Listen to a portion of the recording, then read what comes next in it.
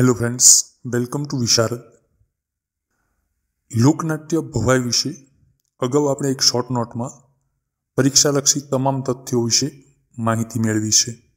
આજે આપણે લોકનાટ્ય ભવાઈના પિતા, એટલે કે અસાહિત વિશે કેટલીક રસપ્રદ બાબતો જાણીશું.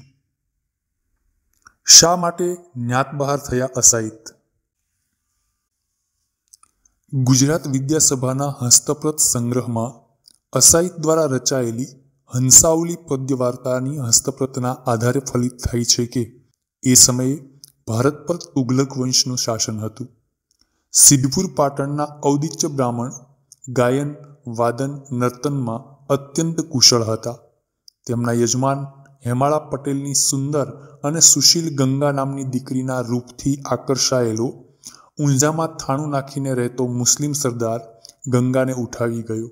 ગંગાને બચાવવા અસાહિત મુસ્લિમ સરદાર પાસે ગયા અને પોતાના સંગીતથી તેને ખુશ કરી ગંગા પોતાની પુત્રી છે એમ જણાવી તેની મુક્તિની માંગણી કરી. સરદારને વહેમ જતા તેણે અસાહિતને ગંગા સાથે એક થાળીમાં જમવા કહ્યું. અસાહિતે ભરી સભામાં ગંગા જોડે એક થાળીમાં ભોજન લીધું અને ગંગાને બચાવી લીધી. આ સમાચારથી સિદ્ધપુરના ઔદિચ્ય બ્રાહ્મણોએ એમને ન્યાત બહાર મૂક્યા અને એમનો સંપૂર્ણ બહિષ્કાર કર્યો. ભવાઈના વેશો અને અસાઈ ઠાકર. પરંપરાગત કથાકારનો ધંધો કરી શક્યા નહીં તેથી ભવાઈના વેશોની રચના કરી પોતાના ત્રણ પુત્રો સાથે તે ભજવવા લાગ્યા. એમણે ત્રણસો સાઠ જેટલા ભવાઈના વેશોની રચના કરી હોવાનું મનાય છે, પરંતુ આજે તો ફક્ત પચાસ સાઠ વેશો ઉપલબ્ધ છે, જેમાંથી એમણે લખેલા વેશો ત્રણથી વધુ હોય એવું લાગતું નથી. અસાઈ દ્વારા રચાયેલો સૌથી જૂનામાં જૂનો વેશ, રામદેવ પીરનો વેશ હોય, એમ એની કથન શૈલી કથા સંકલન તથા સાદી સરળ ભાષા પરથી લાગે છે. એમાં મનોરંજન દ્વારા લોકોને ઉપદેશ આપવાનો એમનો ઉદ્દેશ સ્પષ્ટ છે. કજોડાના વેશની શૈલી પણ કથન પ્રધાન છે અને એ વેશ દ્વારા તત્કાલીન કજોડાના રિવાજ પર રોચક રીતે વ્યંગ કર્યો છે. લાલજી મણિયારાનો વેશ પણ તેમનો હોય એવું લાગે છે.